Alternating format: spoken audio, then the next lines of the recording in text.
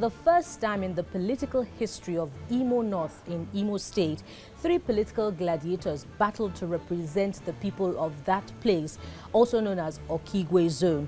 In that election, the candidate of the PDP defeated those of the APC, Benjamin Uwajumogu, and of the All Progressives Grand Alliance, Clem Ounna. However, since the annulment of his election, the Senator Athan Achonu of the PDP has been waiting in the wings for a run poll. Why has INEC tarried in conducting election into Imo North? These, amongst other issues, will form our focus today on fireworks. Let's take a short break, during which we'll take a peek into our guest's bio, and we'll be right back. I am Bukola Samuel Wemimo. Stay with us.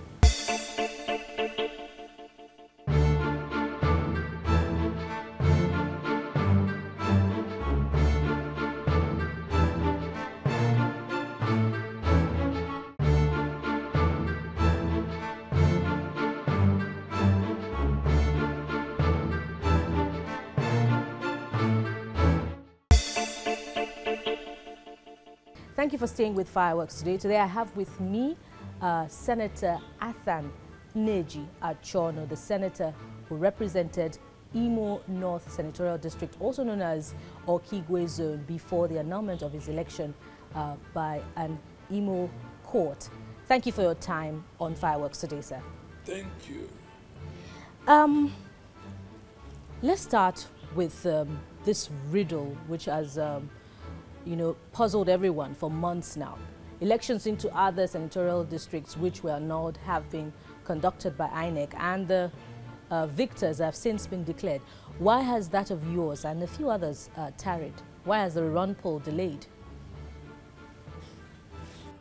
To be honest with you, it beats my imagination because uh, one would think that Buhari, with his uh, reputation as an honest and straightforward person, which we are putting to test now in this country, you would think that his party, APC, would like to adopt his character, his character his, uh, his, so that the reputation will, come, will be brought to bear on how they conduct themselves and their affairs. This is a man who benefited from a very, very democratic process. You remember that the PDP, during Jonathan, you conducted elections where other the opposition parties won elections, free and fair elections everywhere. So I, I'm, I'm completely surprised. What happened is beginning to look, is becoming clearer to me now. Because in the first place, there was no exclusion in Okigwe zone election. On the morning of that, on that fateful morning, the representatives of the parties were fast enough to detect the fact that Accord was not on the ballot meant for Okigwe uh, Imo North senatorial zone. And they raised the issue. The INEC person in charge, I don't remember his name, they, they mentioned his name during the stakeholders forum we had in Owerri in the presence of a national commissioner. So they raised the issue. There and then he, he changed the ballot papers. You understand? He substituted it with the one of Imo East. They said they had a lot of it. They had enough to conduct both Imo East and Imo North. So, and Accord was number one on that ballot paper. That was what I voted with. In fact, they brought it to my attention around 3 o'clock on that day. That look, oh, they gave us a wrong ballot paper because we didn't know, they didn't inform us. In fact, voting had stopped in one, they tried to stop voting in one place called Umudurokoro in my, uh, in my local government because of it. So I now called the INEC commissioner, called the administrator. I was, I was running mad. I was screaming. They said I should calm down. That it was administrative in nature, that it wouldn't be any problem. Do you understand me? That the results is all, all that they needed. I said, okay, are you sure? They said yes. Are you sure? They said yes. They are alive. The admin sec and the rec. They are alive. One has retired, one is still in service. So I was shocked during the uh, uh, court process how INEC presented the ballot paper. INEC didn't do, bring any representation to defend the result. I, do you know how they, they didn't front load the evidence? In court. In court. What they did was the uh, uh, witness, INEC witness, they asked him, where is, your, where is your, your evidence to show that this uh, was what was used for the election? He casually put his hand in his pocket, brought out a rumpled ballot paper and presented. But did your uh, counsel uh, cross-examine him to the extent that you were screaming, drawing INEC's attention to the fact that uh, uh, the Accord Party's logo was not duly represented, as you have said earlier? No, he was, he was canvassed in court. But the point was INEC was supposed to present the evidence. You understand? It was INEC's duty to defend that result. INEC was one who would have front-loaded that ballot paper because it's INEC document. We don't have access to it. Do you understand? And INEC was a party to the suit. So INEC would have, and they, they are responsible for the cancellation because it's, I mean, due to no business. fault of yours. Yes. But INEC has also said that there were security threats on the no, day of the about, uh, I'm leading you to the, to that point. Yes, to okay. that point. Now, because of that, the election was cancelled. INEC was asked to conduct a rerun within 90 days. On that fateful day, we are ready for this election. Suddenly, group of thugs surrounded INEC office when they were trying to distribute sensitive materials for the election the next day. They surrounded INEC. And in the crowd, you could see government house officials, that's APC government officials, leading the mob. They even used tipper to block the premises. And then security agencies were there.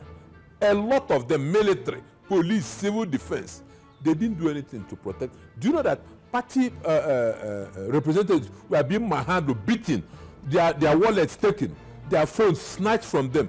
Police, were, they were looking, they didn't do anything. Until a representative of one of the parties boldly went, went to the admin sec and asked him why he was sitting in his office while uh, uh, uh, political parties were being manhandled and the process being, be, be, being disrupted. It was then that he confronted the police. It was then that the police used tear gas and instantly the crowd dispersed just one or two tear gas that the police released which means that if the police wanted to stop the mob it was very easy. So you think the police is complicit? Yeah, totally and completely. Police was there, army was there. And these were just miscreants, thugs. But, but, but, but there are reports that also ahead of that rerun poll, there was verbal exchanges and desperate politicking between uh, the candidates, you and the others. How true is that? There was nothing like that. Ben Uwajumogu, the candidate in question, is like my younger brother. As a matter of fact, I sponsored his election into the House of Assembly. You were in the PDP together? He, yeah, he was in the PDP. I sponsored his election completely. I, I bought his form. I gave him a Sequoia Jeep. He, armed robber stole his car three days to the election. He fell sick I flew him to India, paid for him to, to have a triple heart bypass. He came, came back, won the primaries, which I supported him to win, and then I gave him 10 million for his uh, campaign. And I campaigned, I went single-handedly to all the ACN, because ACN was leading in some areas. I went there and made sure, because they respect me, they love me. I went there. For his campaign into which office now? Let's be House clear. Of Assembly. House of Assembly. Yeah, he became a speaker for four years. He was the speaker. After that. On your own strength of support. I supported him. I, I single-handedly put him in the house. Things have changed definitely between you now that you're going. He's still my. I still call him my younger brother. I still the guy because I don't have. Are you on talking him. terms? Of course, I spoke to him even day before yesterday. I call him all the time. Everywhere I see him, I hug him. Then you see the. So there is no acrimony because. No, as far as I'm concerned, none. As a matter of fact, what is happening is that there are some uh, political merchants in my area who benefit from such things. What they do is that they prepare a support base for you. When you get there, they now make sure that the constituency uh, projects, all the constituency monies, you bring it, they share it. They even collect monies from local government chairmen. These people, once they put you in power. So that's what I'm not supposed to. What am I doing with the Senate? I came to stop all this. That's why I'm running for Senate. I don't. Uh, what do I need? As a matter of fact, before now, all the boreholes, uh, uh, lights, electric, uh, transformers in my place, I put them with my personal resources. I'm running to stop those men. And those men are the ones backing him. You see the problem. So he's making a very big mistake. Because these were the same men who didn't allow him to go to the Senate. The sister came crying to me here. I came out and stu uh, stood behind him to make sure that he went to the house. You see the thing? Now he went, you know, this politics, I don't know, I think it's, uh, there's something to this uh, political office in Africa. You know, it's, it's, it's, a do or die affair for a lot of people. Let's uh, conclude um, the strength of INEC's case and the strength of yours. You, you believe that uh, INEC is complicit, even security agencies are complicit in the factors that are responsible for the uh, indefinite postponement of that election that was supposed to have held, the rerun, on February the 20th. Now, do you think your case is strong enough for you to present it in court uh, so that INEC can be forced to conduct that election? No, we are already we are, we are going to go to court to compel INEC to conduct that election because they don't have any reason. That's a fresh suit. Yes, they don't have reason not con conducting the election. And then you see, INEC is responsible for everything that's going on in Imo North. There was no exclusion, like I said. But if security agencies are complicit, if INEC is complicit, what is the interest? What do they stand to gain? I don't know. That's what INEC should explain to us and the security agencies. We approached INEC, the national party chairman of PDP, and then some national executive and myself went to INEC. We met with the national executive of INEC. The chairman was there.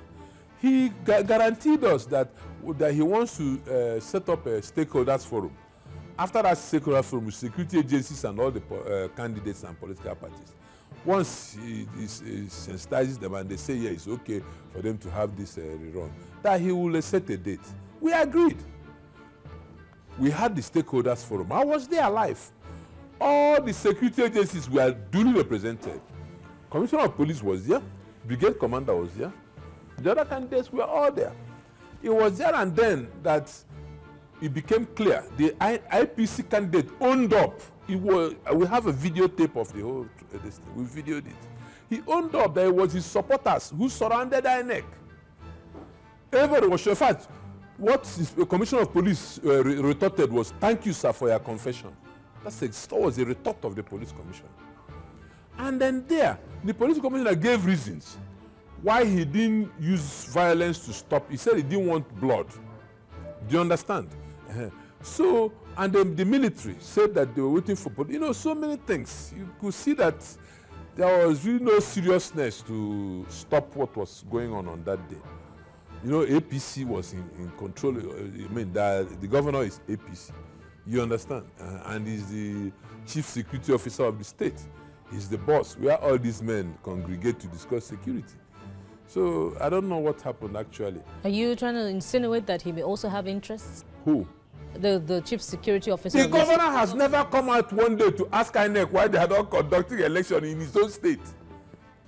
Do you understand? So the insinuation actually, what is going on in the whole of Imo State was that the governor knew that APC was going to lose. So he didn't want the election to take place.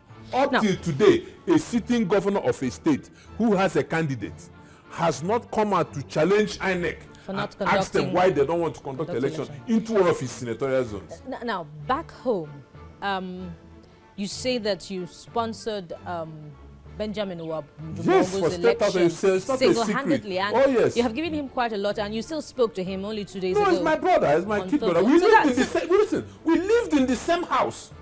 So we're like brothers. That, well, suggests you know, to me that it really doesn't matter who wins exactly, in this election. Exactly. So if you win, it's to his advantage. If he wins, it's to your advantage as That's well. That's what it's supposed to be. But I was shocked. So there's no desperation. Listen, let, well, listen to me. I was shocked. I didn't expect what happened. I was shocked. That day, I, I will never forget that day for the rest of my life. Benjamin came out and owned up that it was his supporters who surrounded INEC. I couldn't believe it. I had to leave that. I, I couldn't stay because I was almost in tears. I didn't know what he was looking for. So what is this thing about um, those back home who are saying that um, there should be zoning to Okigwe East and Okigwe uh, North? You, you tell us more no, about that. I come that. from the same divide as Benjamin Rodimo. Okay. So it, that one doesn't come in at all. All right. Yeah, that was during the primaries. Uh -huh. That one had come and gone. You understand? So, but what shocked me was the fact that he could go and disrupt the election. He was making claims that uh, INEC sent people he didn't want to come and conduct the elections, people who were known to be supporters of PDP to come and conduct the elections. So it was an indictment of INEC actually. He indicted INEC. And then this whole mess is an indictment of the security agencies. Don't you think it's absurd that it's very, very suspicious that the security agencies of this country who could successfully conduct elections in 2015 in Borno, Yobe, Adamawa, Rivers, Bayelsa, Delta, Akwa Ibom could not conduct elections in only six local governments in Nigeria. Doesn't, I mean, what do you think about that? You understand? Okay, if they say that, uh, I listened to on radio, uh, somebody who was supposed to be the spokesman of INEC was on political platform, he said that they always, always invite stakeholders. That for our information, stakeholders in Borono, because somebody raised this point, stakeholders in Borono, Adamawa, this we are consulted you understand and that before they had the election and they all promised free and fair election was boko haram consulted boko haram wasn't consulted in niger delta did you consult the militants they are not consulted so but because now talks ordinary talks and then east south east is regarded as the most peaceful state zone in nigeria by the world uh, by the by united nations now in that same peaceful zone ordinary talks dey higher in the streets could now stop a federal government election. And then the man who has owned up, even on radio, even on radio, he said that we slept there overnight. That's what Benjamin said on radio. We taped it. We have all the evidence. So and he's walking around free. Going forward now, are you confident? And they said they are looking, they still say that they are waiting for stakeholders. After they had had the stakeholders forum, uh, the spokesman, I don't think he, came, he had, has information. Because day before yesterday, on Tuesday. He said they were still waiting for stakeholders. After we had had stakeholders and police there guaranteed security. Military spoke, guaranteed security. Civil defense spoke, everybody. And all the candidates said, yes, we are ready for a free and fair pulse. Then still, they are waiting for. So that makes me very, very suspicious. And also makes me suspicious as to why INEC did not put up a defense of my victory.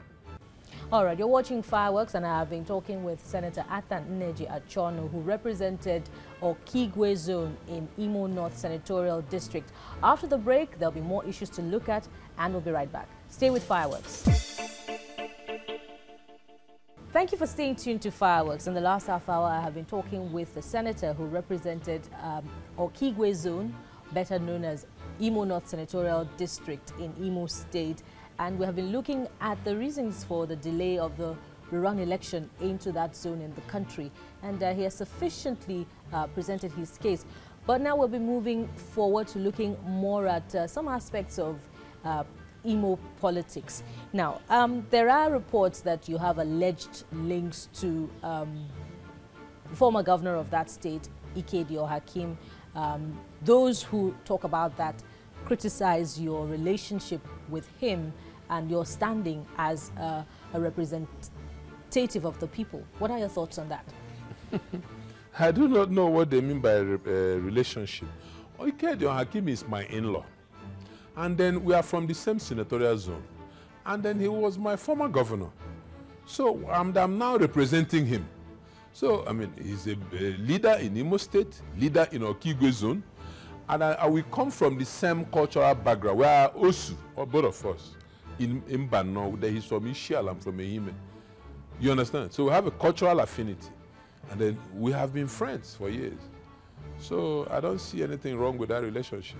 But politically, I mean, if my governor... But politically, perhaps those who are talking want um, their representative to be somebody that is above board and they question uh, former Governor Ikedi Ohakim's uh, um, links with uh, corruption allegations and all of that? Well, Ikedi Ohakim is still working free. If he was corrupt, he should be in jail. You see, the problem with Nigeria, there is so much allegation, and then these allegations have not been substantiated, and you want to treat the person like a criminal. You want to uh, condemn the person before you, the court condemns him. That's what happens in Nigeria. Do you understand? we should have an efcc with agents that are very good in investigation we should have people like you it is people like you journalists who saved america america was the most corrupt country on the face of the planet mafia was running the government journalists said no. Investigative journalism took over. And when jo journalists expose anything police can't cover it. So in fact as a matter of fact this fight against corruption buhari is focusing on a, a wrong uh, uh, uh, area. He should focus on journalists. He should stop corruption among journalists first. If that is done nigeria will be rid of corruption. Because journalists will go in dig the facts expose it on the pages of newspapers and on television. Police cannot cover it. Judges cannot cover it. That is the only way can fight corruption successfully. So uh, as far as i'm concerned ikedi ohakim has not been proven guilty. So i'll continue to relate with him in, in as much as uh, uh, we, have a political relationship. Um, on a personal level of course i'll continue to relate with him. But politically we can disagree we can agree. It depends on what the situation and lastly um, what are your thoughts on governor rochas okorocha? I pity the person who is going to take over from him. Do you know this is a governor who kills investment in his own state? When nigeria is looking to create employment he is sacking workers left right and center. He is killing investment what about his programs on education? I'm coming. I'm coming. Let me let me talk to you about rochas though today is not a day for rochas because i will take out a whole day on television and tell the country who rochas okorocha is this is a man for example myself i brought an investment that would have created 5,000 direct and indirect um, employment. I have a 154 room hotel in Owerri. Do you know he has put a stop work order on that hotel because of politics for the past four years now? Stop work on that hotel. Do you know I bought Imo hotels? I uh, took 60% share of Imo hotels. Government has 40%. Now I wanted to build a mega mall and a tourist center another hotel in that place. I got the funding, everything. That time wasn't a governor. Immediately he came as a governor. He wanted to concession it. Who are you concessioning it to when the person who owns it has the money to develop it? So I went to court. I got a judgment that I own 60% from a state court and that he has no right to do anything there without my consent. Do you know he disobeyed court order? Because this place that he wanted to concession, he now built a road in the middle of it started balkanizing it building rubbish all over the place destroyed one of the buildings i own there carted away my generator 750 kva generator took away my about 200,000 blocks i had there sharp sand i bought from one uh, chief torichukwu who was dredging the river he everything disappeared with impunity with disobeying contract he's continuing to build things there i just look at see this is a governor who is supposed to promote investment and i hear that there are some investments in agriculture which they have run away because of the demands the government was making. They ran away, invested in Enugu, invested somewhere else. I have a license now to build a 20,000 barrel capacity refinery. How can I build it in Imo State, where Rochas Okorocha is governor? He will not give me C of O for, my, for the land. You understand me? And once I stop now, you come and destroy it. Even the agricultural investment I'm trying to make. Yes, a refinery, 20,000 barrel capacity. My partners came here the other day. You're the technical partners. I can't, I can't move forward oh, but so many allegations. But are there perhaps other interests beneath the, all of this that Rochas we are not aware of? Tuko taken over the whole land in Imo State, the whole land in Owerri. He owns it. He has taken over officially everything. He has destroyed people's homes without compensation. This was a governor who was giving contract without design, without bill of quantities, without contract. You, do you know how many people who have died because uh, uh, they put their money? So you are not the only one affected in this alleged land oh, no, grab it's by the governor? It's everywhere. He has taken over everything, privatized the family. He's now his family business. Imo State is his family business. What about his programs on education? What program? Roger Ogorocha is, do you know what the scholarship is? Do you know in Imo State University, he says giving scholarship. You know what it is? He will now employ less Imo State citizens and employ Igbo state citizens don get admission again to study in the state universities so that other people will come and pay school fees because the scholarship is supposed to be for Imo look you people should go and investigate i don't mean stop talking about Rochas do your investigation i will take a whole day to tell the world who Rocha Sokorocha is. All right, we want to thank you very much, Senator Athan Achonu, for your time and thoughts on fireworks today. Yes, uh, you have, uh, the issues have been laid uh, bare before you, and it's left for you to make up your mind what uh, really uh, is the interest in Imo State and, of course, in politics uh, from both sides of the divide at the national level. Why not join us again same time next week when we bring you another incisive edition of the program. On behalf of the crew, I am Bukola Samuel Wemimo.